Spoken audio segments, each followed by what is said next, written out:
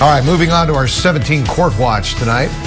Proceedings for convicted killer Jaime Osuna are still on hold as the court tries to determine whether he is mentally competent to stand trial. Today, we were expecting to hear results of a competency evaluation to see if he should be tried for killing his cellmate, Luis Romero.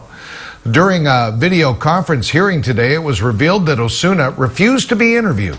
So instead, doctors will review his most recent medical records and they will go over their findings at his next hearing in August.